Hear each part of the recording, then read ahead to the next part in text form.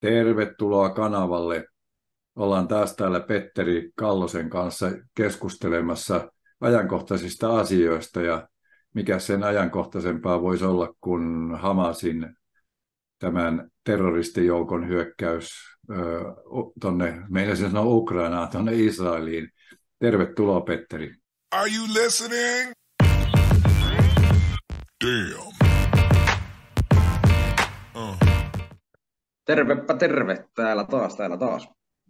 Onko se sillä tavalla, että sä et ole ihan hirveästi seurannut, mitä, mitä tämä tilanne on, vai, vai yritätkö olla hyvin neutraali?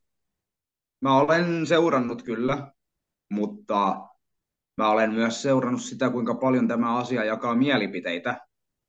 Ja mä koen, että mulla ei riitä tietyt kriteerit tai tiedot silleen lähteä avaa asiaa, koska mä koen, että, että jos mä en jostain asiasta tarkalleen tiedä ihan miten se on, niin se on silloin parempi olla hiljaa. Kyllä, kyllä. Joo, tota, siis se, sehän on selkeä homma, että, että oikeasti Hamas on terroristijärjestö. Se ei muuta miksi sikään sitä tilannetta. Ja sitten toisekseen, niin, niin tota, nehän silmittömästi hyökkäsi siviilien kimppuun siellä ja vei jotain ainakin sata, sata panttivankia ja nyt ne uhkaa tappaa niitä sitä mukaan, kun Israel vastaa heidän pommituksiinsa. Et tuota, mä olen tässä, tässä asiassa juuri nyt, mä olen täysin Israelin puolella.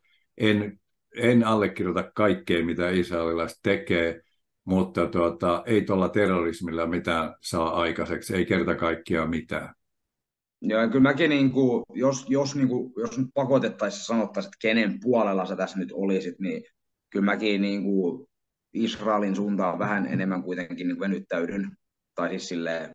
Sillä 50-60, Matti Nykänen. Niin kuin, siis se, niin kuin se on just se, että niin kuin, kun ne nyt on mun mielestä taistellut siellä iät ja ajat. Kyllä, kyllä, joo, joo. Joo nyt on vaan lähdetty vähän isommilla panoksilla leikkimään. Joo, joo. Kyllä, kyllä.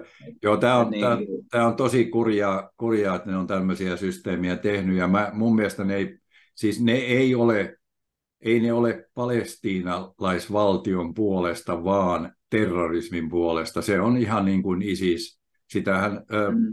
sikäläinen pääministeri vai presidentti kertokin, pääministeri taisi on Netanyahu, kertoi, että, että tuota, ihan suoranainen mm. terroristinen teko ihan kammottava systeemi. Se, mikä tässä on kurjaa, että Putin iloitsee nyt, koska pääpaino on siirtynyt Ukrainasta. No tämä just, tämä just Joo. pääpaino on siirtynyt Putinista Joo. muualle. Ja mitä sä oot mieltä tästä, kun nyt on levinnyt huhui tuolle, että ukrainalaiset oli antautumassa? En mä semmoisia osaa ottaa kantaa, ei varmasti ole. Siis nyt tota, siis Suomessahan on todella paljon trolleja, ja Suomeen vaikutetaan trollien välitykseen. Mä oon keskustellut muutaman trollin, trollin kanssa tuolla netissä ja, ja se on kyllä huikeita TikTokissa tai nykyisessä Xssä. Se on kyllä hienoa. Mä voisin, me voitaisiin siitä tehdä eri video. Mit, mist, mitä, mistä on kysymys, kun trolli yrittää sanoa, että kato, tässä on mun passi, tämä on Suomen passi, ja mä olen soomalainen, soomalainen, kirjoittaa soomalainen, eikä osaa puhua edes suomea. Ja sitten tota, samainen kaveri sanoi, että hän on taistellut tota, merivoimissa Säkylässä. Niin, tota... Mutta sehän jo, jollainhan voi olla se suomen kielen taito vaan vielä niin huono kirjoittaa. Ei, kun tämä on, tää on siis niinku selkeä trolli. Mutta siis to, to, Putin iloitsee kahdesta syystä. Yksi, niillähän on saatuna äh, tota, sotasaaliiksi ukrainalaisia aseita, ja nyt tuota, eurooppalainen länsitiedustelu tietää sen, että ne aikoo toimittaa niitä sinne Hamasille, ja sitten ne kertoo, että Ukraina on aseistanut Hamasia. Ja päinvastoin siis systeemihän on semmoinen, että, että tuota, Ukraina on lännen puolella, ja no se nyt ei ota kantaa Hamasiin sinällään, mutta missään tapauksessa sillä ei ole mahdollisuuksia aseistaa Hamasia. Että on niin kuin juuri näitä perusvalheita, mitä mitä rusistivatnikit eh, tekee. Ja osa Suomessa oikeasti uskoo niihin.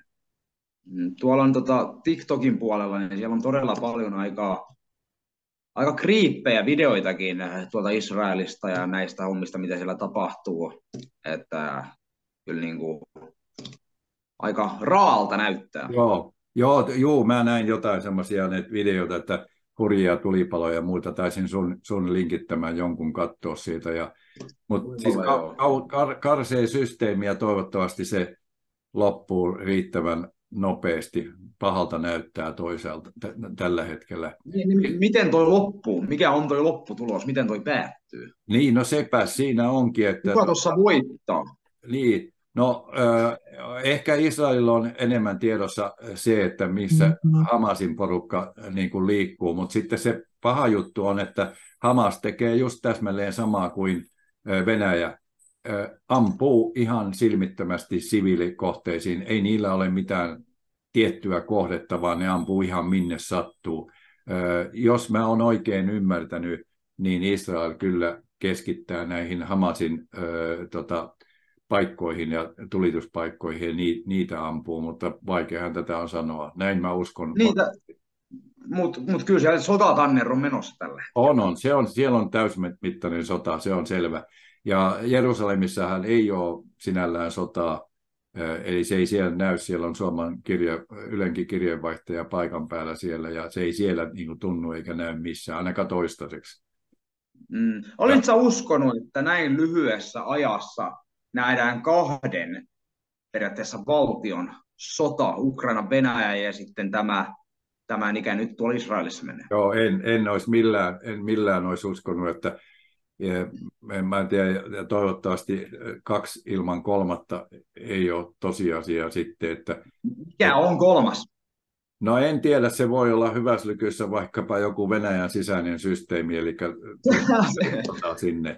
Ja tota, siihen, siihen tota, Ukrainan sota, toden, jos Ukrainan sota päättyy Ukraina, ja, ja päättyy Ukrainan voittoon, se on niin kuin tärkeä homma, mutta tuota, ää, sitten kun se päättyy, niin sen jälkeen ennustetaan, että joku sotablokkari, siis nyt Euroopassa asuva sotablokkari sanoo, että, että sen jälkeen Venäjä alkaa keskittää joukkojaan tota, Naton rajaa vasten, eli siis Suomen rajalle, mutta ei niillä ole mahdollisuuksia siihen. Ei seuraavaan kymmeneen vuoteen ole mitään mahdollisuuksia. Ne luulee tekevänsä näin, mutta kun ei niillä ole joukkoja. Siellä on nyt 20 prosenttia vahvuudesta olemassa, eikä ne uskalla oikeasti NATOa uhata. Niin. Mitä sä tota, oot mieltä siitä liittyen vielä tuohon Israelin tilanteeseen, että kun, onko se nyt sitten palestiinalaiset vai Hamas, ketä siellä sotii? Ha- Hamas, terroristijärjestö Hamas siellä sotii, ei, eikä, eikä tota, ää, Palestiina ollenkaan. Okei. Okay. Näin. Joo. Kiitoksia kaikille, jotka on tähän asti jaksanut katsoa. Pistäkää kanavaa tilaukseen ja käykääpä kurkkaamassa Petterin TikTok-kanavaa, joka menee Joo, se on. Mä en YouTube ehkä vähän hiljaisempaa, mutta ei sitäkään unohdeta. Joo, näin on. Kiitos. Yes. Palataan. Moi. Moi.